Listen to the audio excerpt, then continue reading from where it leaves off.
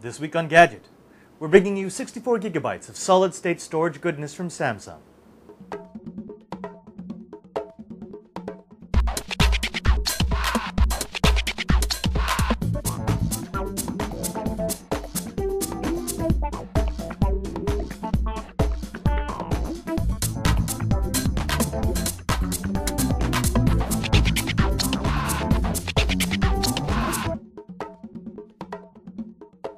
Hello, and welcome back to Gadget at thetechstop.net, where it's always time to get your geek on. I'm your host, Father Robert Ballecer of the Society of Jesus.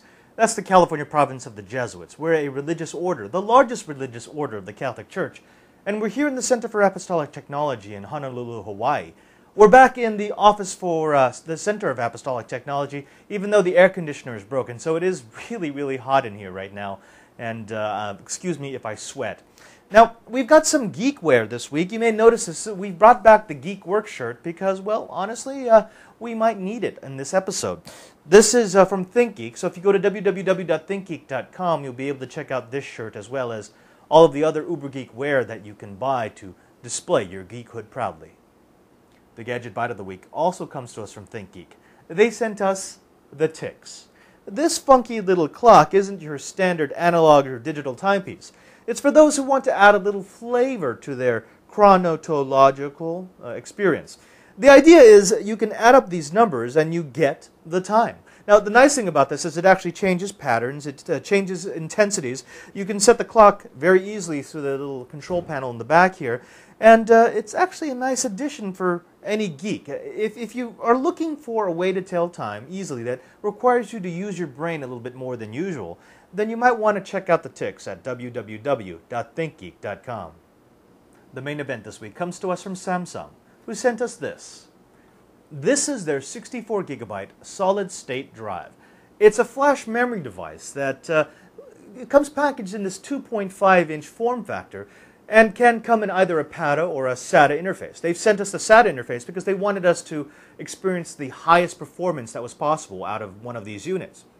The SSD uses Samsung's NAND flash memory technology, which they claim has been optimized for random read, significantly increasing real world transfer rates.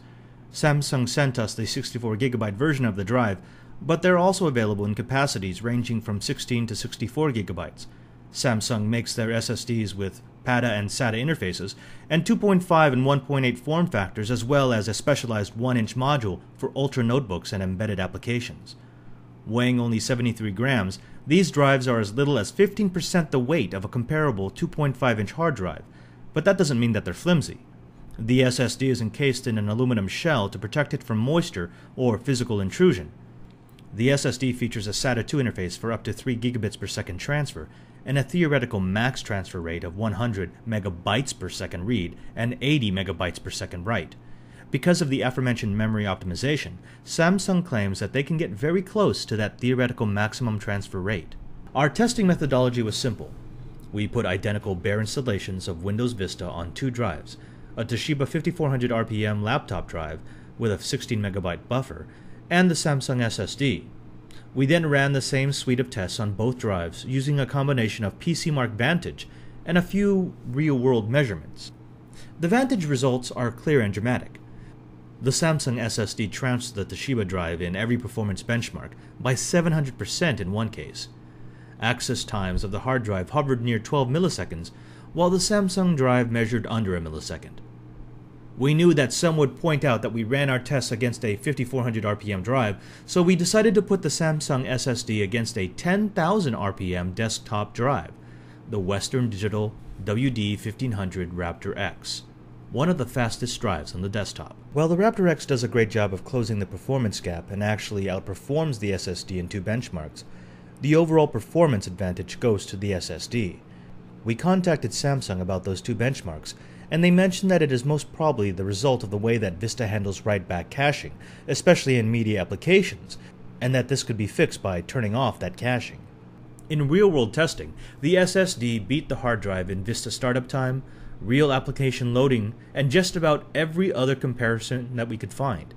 There is no doubt that this is one seriously high powered unit.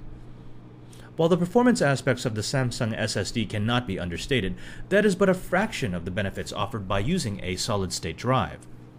First of all, this drive is tough. Whereas most hard disk drives are rated to withstand 300 Gs of shock, the Samsung SSD can take 1500 Gs and shrug off the hit. While operating, a hard disk drive can be damaged with as little as half a G of continuous vibration. The SSD will work all the way up to 20 Gs. While notebook hard drives have become much more reliable over the last few years, with many boasting 5 to 700,000 mean time between failure hours, the SSD trumps them all with an MTBF approaching 2.5 million hours. No moving parts means that your data is safer for a much longer time. The SSD can also operate in temperatures that would freeze or cook a traditional hard disk drive. The SSD will work in the 110 Celsius range between minus 25 and 85. A hard disk drive will freeze up at 5 degrees Celsius and melt itself at 55.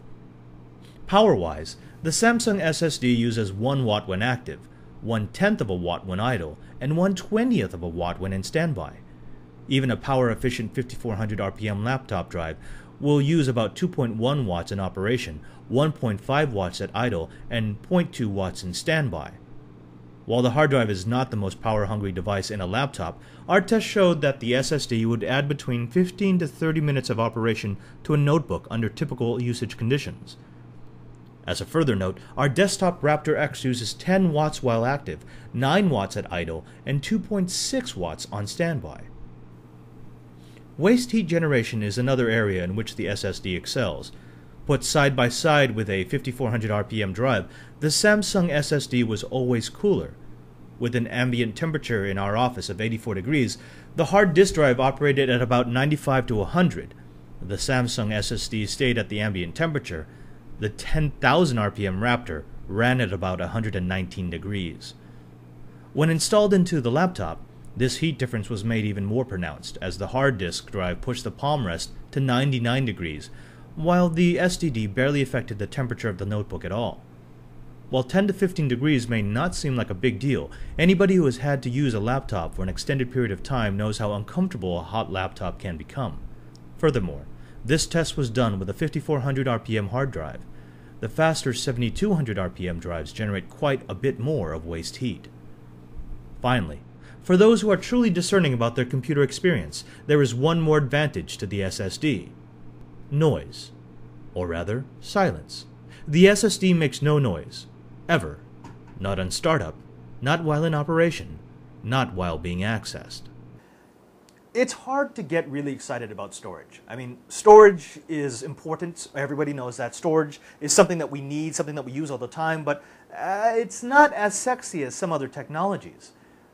The SSD kind of changes that because it gives us a unit that is incredibly fast, that is incredibly sexy, that is so light, that is thermally and electrically efficient. No matter what metric you throw at this thing, it compares favorably against the rotating media brethren.